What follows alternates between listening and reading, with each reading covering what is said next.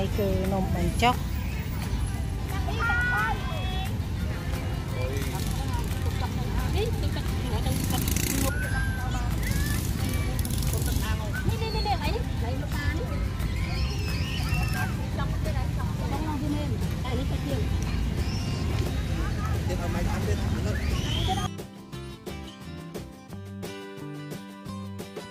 គឺជាថវិកា ការដែលខ្ញុំទទួលបានមកពីបងប្រុសអេរ៉ាជួយតែគាត់និងភរិយារបស់គាត់គាត់តែងតែមានសទ្ធាជ្រះថ្លាក្នុងការបរិច្ចាគថវិកាតខ្លួនរបស់គាត់ជូនមកដល់ពលរដ្ឋខ្មែរយើងដែលមានជីវភាពក្រីក្រយ៉ាងណាមិញចាថ្ងៃនេះដែរខ្ញុំក៏បានយកថវិការបស់បងចាដើម្បីយកមកទិញចានំបញ្ចុកជូនដល់បងប្អូនចាបន្ទាប់មកទៀតខ្ញុំក៏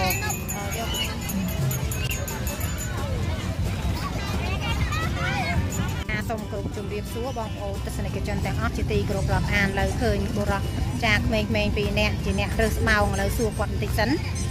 មកសួស្តីអូនហេអូនទាំងពីរមកពីណាពីណីបើរេអាចាយហ៎រេអាចាយនៅណាខ្លះហ៎ហើយលេងញ៉ាំអីនៅគាត់នៅហ៎លេងចង់ញ៉ាំអីគេចង់ញ៉ាំអីញ៉ាំនំបញ្ចុកទេអមឲ្យញ៉ាំតោះតែញ៉ាំនំបញ្ចុកអញ្ចឹងតោះនោះកន្លែងគេលក់អត់តោះ តែដើរទៅញ៉ាំនំបញ្ចុកហ្នឹងតោះចាឥឡូវនេះឃើញគាត់ចាគូអាណិតមែនតែនចាជីវិតគាត់គឺថាជាអ្នករើសអេតចាយចាឥឡូវនេះខ្ញុំមកឲ្យគាត់នឹងទទួលទាននំបញ្ចុកដោយសារតែគាត់អត់ទាន់បានញ៉ាំអីចានេះកូននេះញ៉ាំញ៉ាំមកកូនញ៉ាំមីងហ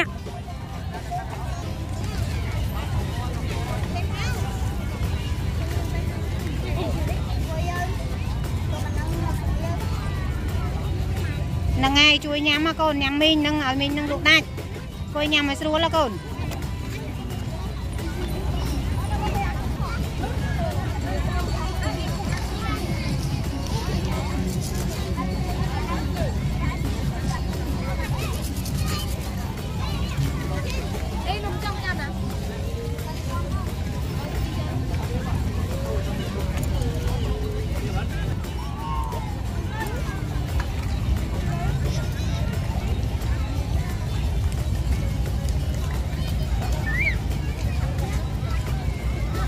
ញ៉ាំញ៉ាំមកឆ្អែត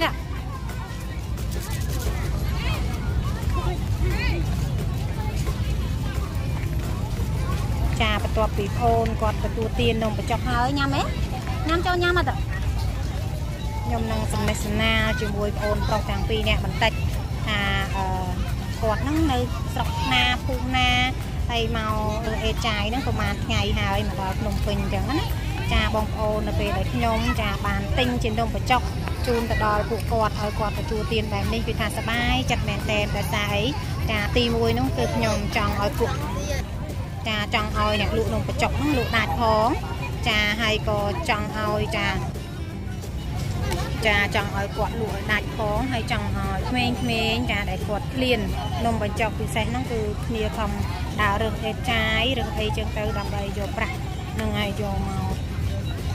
ចិញ្ចឹមជីវិតគ្រួសារគាត់នៅដើម្បីចង់ដឹងថាជីវិតពិតរបស់គាត់យ៉ាងណា នៅពេលដែលគាត់ទទួលទានហើយចាខ្ញុំនឹងជម្រាបចាឲ្យបងប្អូនណាបានដឹងទាំងអស់គ្នាថាតើជីវិតពិតរបស់គាត់នោះចាយ៉ាងណាយ៉ាងណីដែរអញ្ចឹងណាហ្នឹងហើយបងប្អូនដើម្បីខ្មែរយើងរួមគ្នាចាជួយទិញនៅអ្វីដែលខ្មែរយើងរកទទួលទានយ៉ាងណាមិញចាដោយសារតែខ្ញុំឃើញស្ត្រីម្នាក់ចា តែគាត់មានមុខរបរជាអ្នកលក់នំបញ្ចុកហើយខ្ញុំចង់ឲ្យគាត់នឹងលក់ឲ្យបានដាច់ក៏អឺចាក៏ហៅបងប្អូនចាទាំងពីរនាក់ដែលគាត់មានមុខរបរជាអ្នកទៅចាយហ្នឹងឲ្យគាត់បានញ៉ាំចាឲ្យឆ្ងាញ់ជាងគេផងដែរ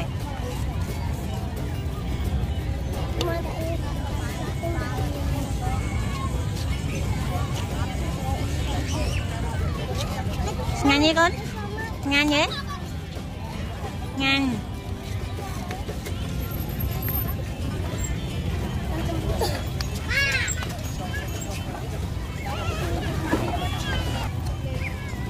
បន្ទាប់ពីគាត់ទទួលទាននំបញ្ចុកហើយខ្ញុំក៏មានថវិកាចាពីបងប្អូនខ្មែរយើងដែលគាត់រស់នៅឯនាយសមុទ្រចាយកមកជូនបងប្អូនចាដែលគាត់មានមុខរបរជាអ្នករឹងអេចាយហ្នឹងឲ្យគាត់បានទទួលលុយខ្លះខ្លះយកចិញ្ចឹមជីវិតគ្រួសាររបស់គាត់មិនដែរកូនញ៉ាំមើលឈប់នៅចែកដែរអូញ៉ាំអីម៉ាត់ចឹងកូនអស់នៅមើលអស់នៅ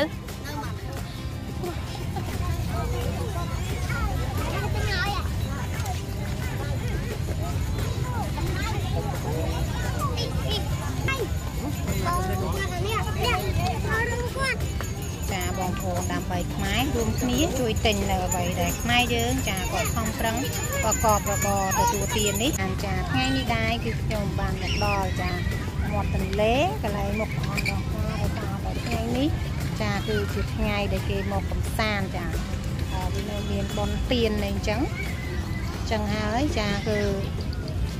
ខ្ញុំបានឃើញចាបងប្អូនពលរដ្ឋខ្មែរយើងជាច្រើនអ្នកដែលគាត់បានមកកំសាន្តនៅទីកន្លែងនេះដើម្បីទស្សនាចាអឺមាត់ទន្លេ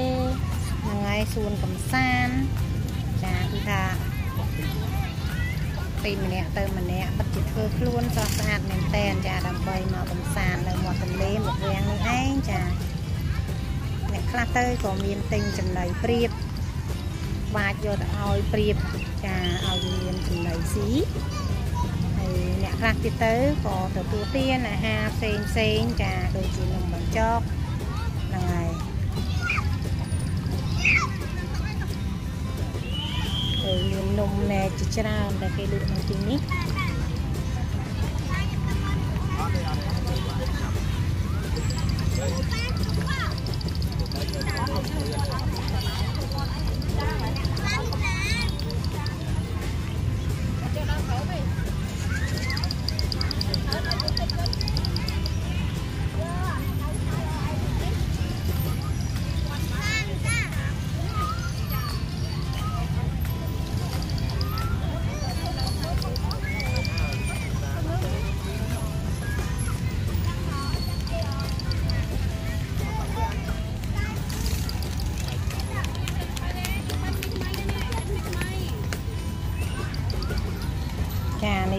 គឺ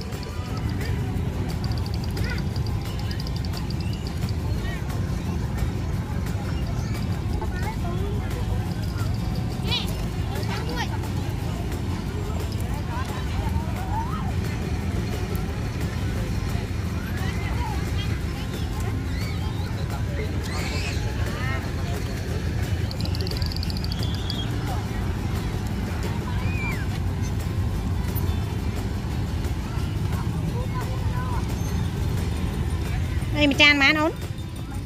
3000ណា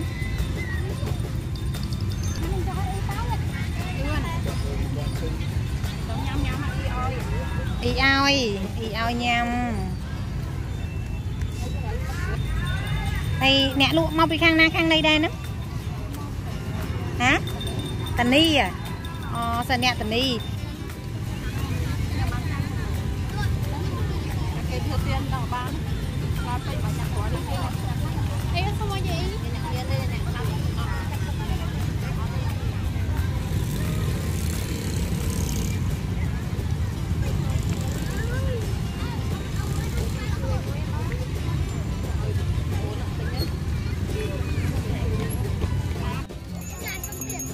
ចានេះគឺជាថវិកា ចាដែលខ្ញុំទទួលបានមកពីបងប្រុសយាយរជួយតែគាត់និងភរិយារបស់គាត់គាត់តែងតែមានសទ្ធាជ្រះថ្លាក្នុងការបរិច្ចាគថវិកាផ្ទាល់ខ្លួនរបស់គាត់ជូនមកដល់ពលរដ្ឋខ្មែរយើងដែលមានជីវភាពក្រីក្រយ៉ាងណាមិញចាថ្ងៃនេះដែរខ្ញុំក៏បានយកថវិការបស់បងចាដើម្បីយកមកទិញចានំបញ្ចុក ជូនដល់បងប្អូនចាបន្ទាប់មកទៀតខ្ញុំក៏យកថវិការបស់បងហ្នឹងចាយកទៅជូនដល់បងប្អូនក្នុងម្នាក់ហ្នឹងគឺ10ដុល្លារស្មើនឹង40000រៀលចាឲ្យគាត់សបាយចិត្តផងចាមិញហ្នឹងពីរចានមិញអស់ហ្មងហ៎6ហ៎ហ្នឹងហើយ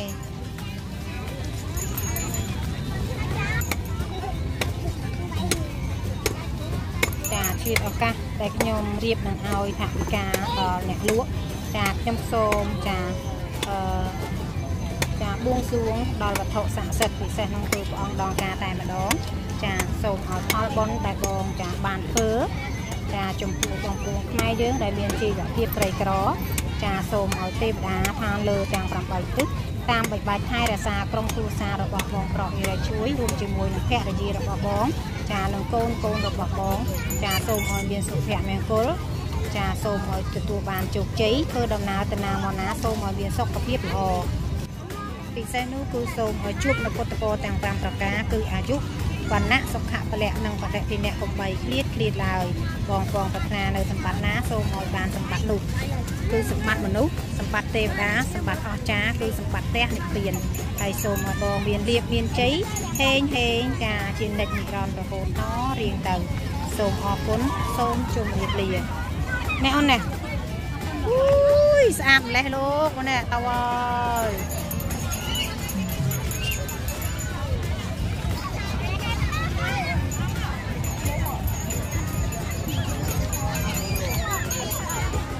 បាយចិត្តទេលោកដាច់ចឹងបាយចិត្តណាជូនពរឲ្យលោកដាច់ណា